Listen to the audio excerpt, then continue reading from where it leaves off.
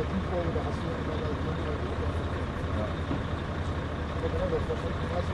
schon. Das hat nicht gedauert. Aber eigentlich, wenn man die, die Kaffeemaschine hat,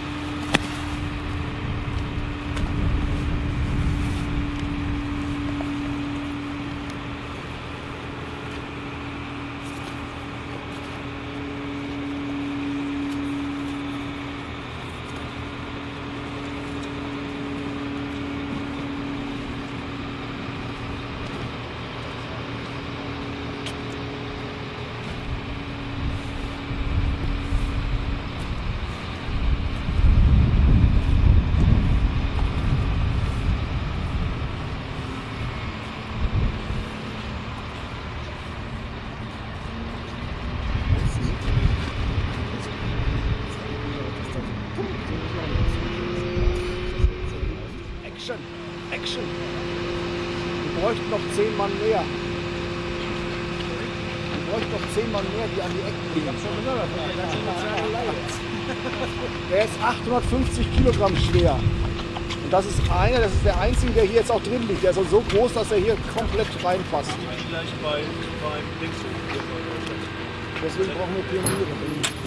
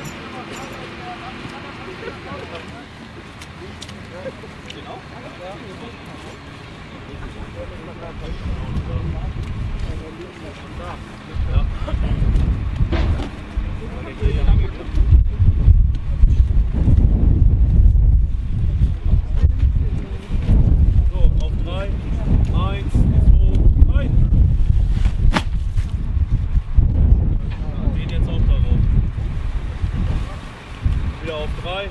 Eins, zwei, drei.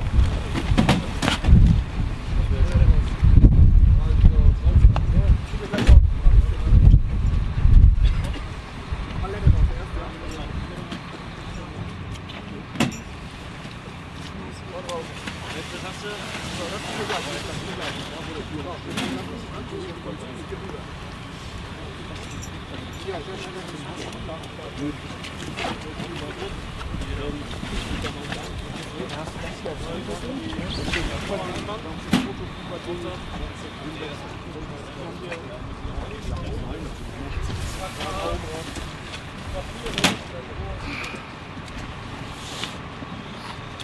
Jemanden nach oben hinten? Nein, die restlichen, die keine haben, oder bei mir jemanden da. Ja.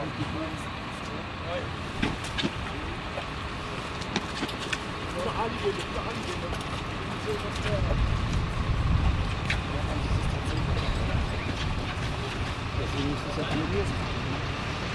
Die hast du nicht nummeriert.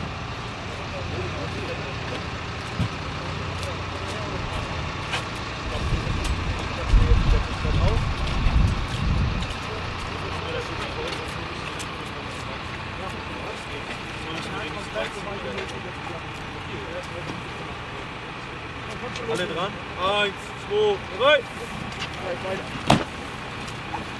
So, wieder alle ran.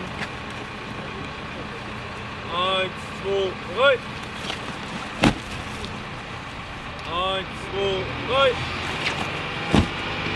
1, 2, 3. 1, 2, 3. 1, 2, 3. 1, 2, 3. 1, 2, 3. Thank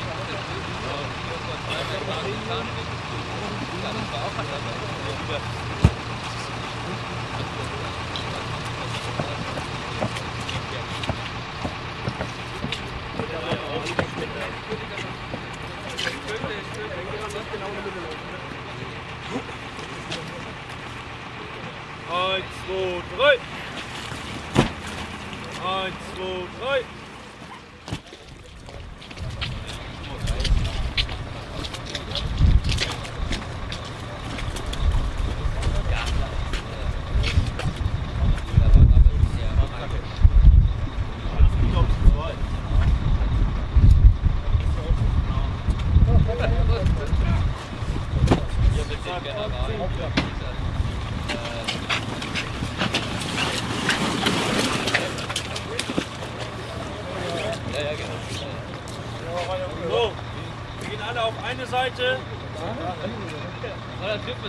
Scheiße.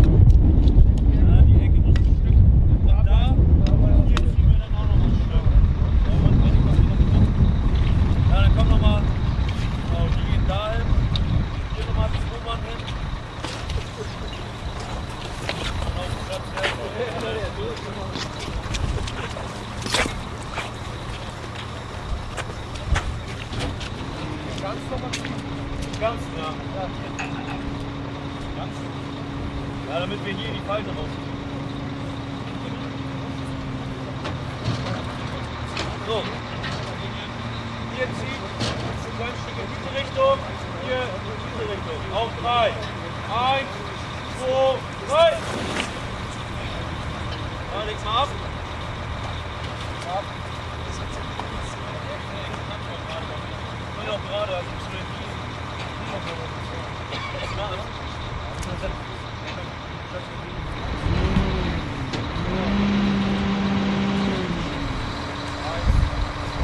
Oi.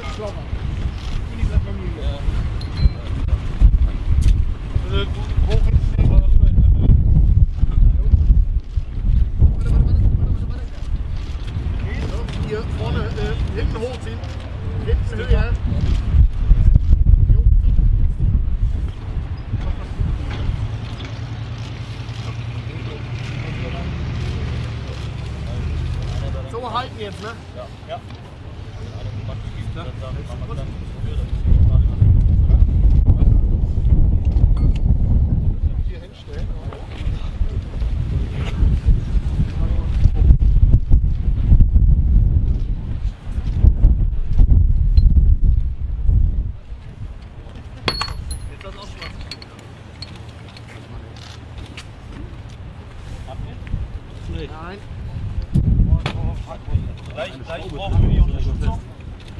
Wir das, den zweiten Schlauch daran machen.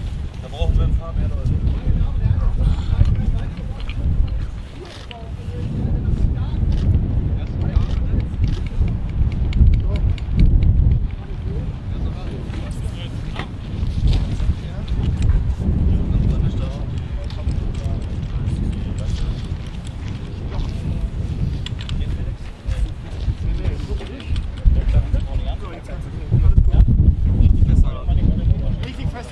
im Schlauch.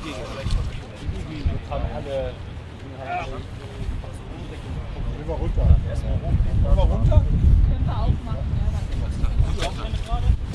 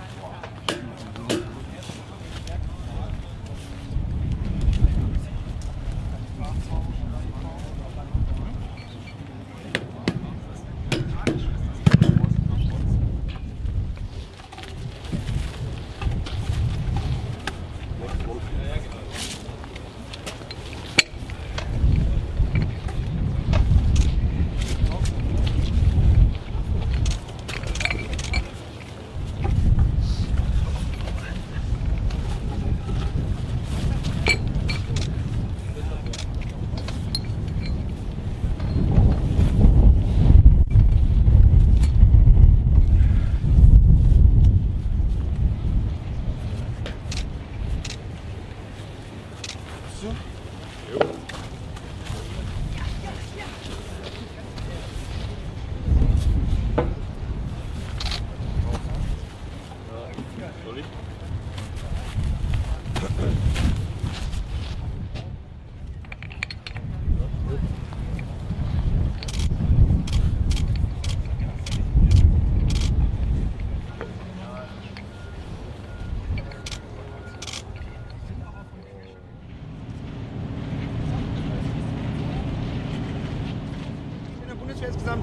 Davon.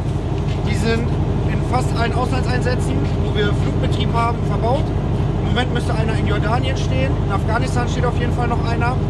Bis vor kurzem stand auch noch einer in Mali. Ich weiß nicht genau, ob in Litauen noch einer steht. Und natürlich haben wir noch welche davon auch in Deutschland zur Ausbildung der Betriebsstofffeldwebel. Diesen Container darf nur äh, ausgebildetes Personal hinein. Das bin ich. Und das war's. Nein. Ähm, wir können damit drei verschiedene Arten von Kraftstoff untersuchen.